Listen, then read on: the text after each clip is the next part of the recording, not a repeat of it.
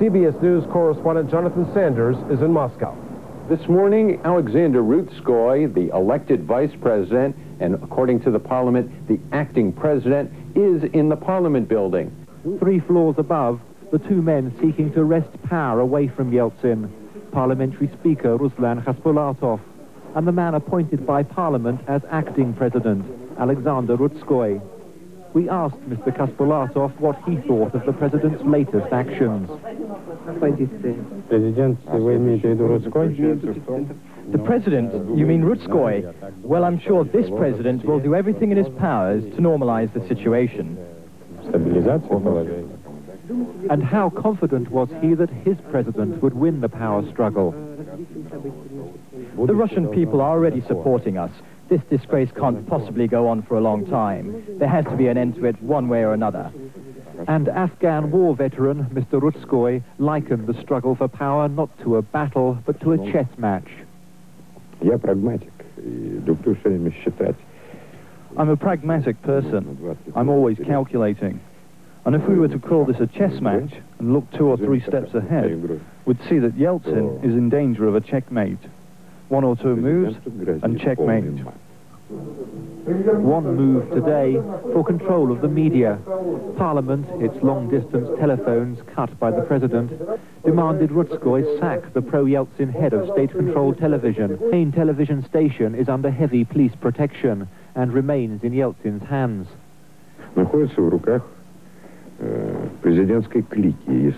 The media is in the hands of the president's clique, if I may call it such. The armed forces have been used to put radio and TV under heavy guard. So what sort of democracy is this? On a walkabout in central Moscow. Digging in, claiming he is now the president. Inside the so-called Russian White House, where Boris Yeltsin's opponents are held up. But for most Russians, it was business as usual. Several thousand old communists and other hardliners gathered outside Parliament to hear Alexander Rutskoy, Parliament's choice as Russia's president, warn of a Yeltsin dictatorship. So far, Yeltsin has let be the opposition crowd that has dug in at the Russian parliament called the White House. A crowd which reached 5,000 people at one point today. They hoisted the hammer and sickle, the old Soviet flag. And out came the man who says he's the real president, Alexander Rutskoy, and he called Russia to arms. I'm calling on you to act decisively, and I stress decisively, said Rutskoy, because the state is in danger. The Russian White House, where Rutskoy is bunkered in, is now a fortress, protected by hundreds of armed... As a gathering of his supporters, which by now had swollen to several thousand. From the balcony, self-declared President Alexander Rutskoy urged workers to rise up, to strike, to be ready to die for real reform. That was a reference to Alexander Rutskoy, Russian vice president who has turned against Yeltsin and declared himself president. Rutskoy has appointed his own so-called defense minister, a general who also wants Yeltsin removed from power and who has appealed to anyone in the military to join him. Parliament sat in emergency session, was guarded, but no clashes were reported between the group of hardline opponents of President Yeltsin who demonstrated outside and the troops. Out to address the crowd earlier, he appealed to the crowd outside the Congress Hall to help the Congress and support them in this battle. This open confrontation is likely to continue through the night and tomorrow. I ask you, your friends and families, to come here to protect the Constitution, our rights, and the dignity of Russia. Parliament Speaker Ruslan Khasbulatov took to the balcony of the White House, telling demonstrators he believed that President Yeltsin was losing support in the provinces. He claims nearly half the country's regions were now backing the hardliners in their struggle against Russia's elected president. Boris Yeltsin's... Moscow is tense tonight, but under tight control, as convoys of trucks are patrolling the streets. They are trucks that are full of riot police and not soldiers. Hours Rutskoy has repeatedly called for a general strike all across Russia, and some trade union leaders have taken up the call, an idea in this country. But there was a suggestion this morning from the chairman of the Constitutional Court who said that both sides could end the showdown if they were to submit immediately to parliamentary and presidential elections. Now, Boris Yeltsin might go for that idea. Parliament appeared to be increasingly isolated. Caught between a media barrage and public indifference, they seem to have few weapons left. And in this circumstances, a special session of the Russian Congress is unlikely to change the new balance of power. Here at the White House tonight, and among Yeltsin supporters, there is a growing realization that the outcome of this bitter struggle may not lie here in Moscow, but in the regions.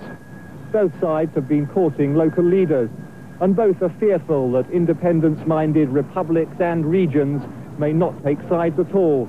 Instead, they may ignore central authority completely. Another target of both sides, the defense ministry. Last night, Rutskoy appointed his own defense and interior ministers, but they have yet to get near their respective ministries. It was also confirmed today that phone lines into the Ministry of Defense have been cut, apparently to stop certain officials being contacted by Parliament. Around warned the, the heads of regional administrations that they're personally responsible for carrying the president's decree.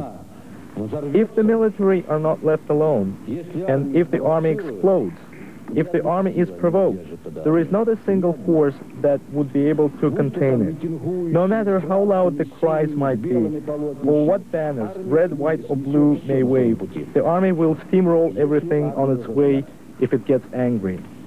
And there are all indications that it may happen.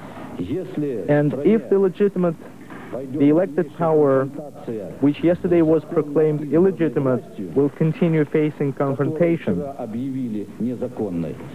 if blood is spilled during the fighting between various political factions involving masses of population, you can rest assured that the military will not stay out of it.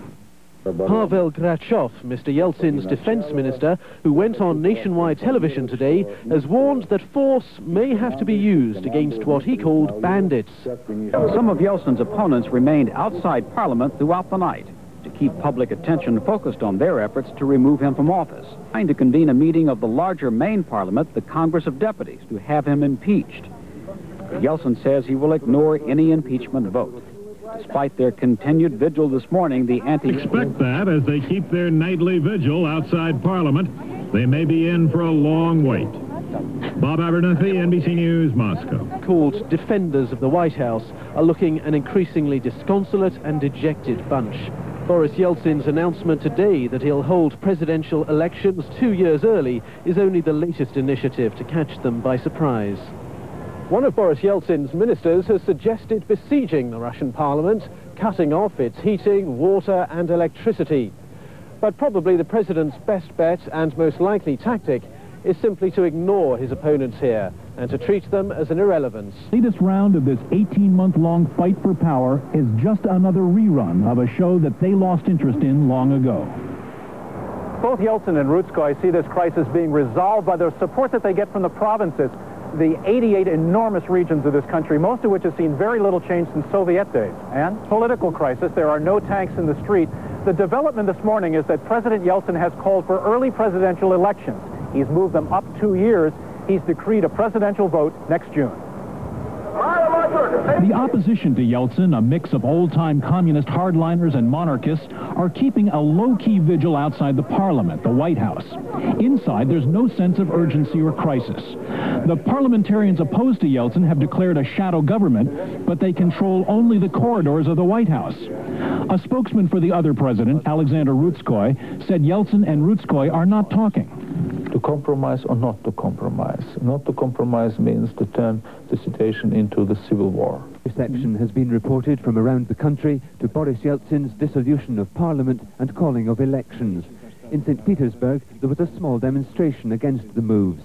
In Novosibirsk, the local council voted against them, even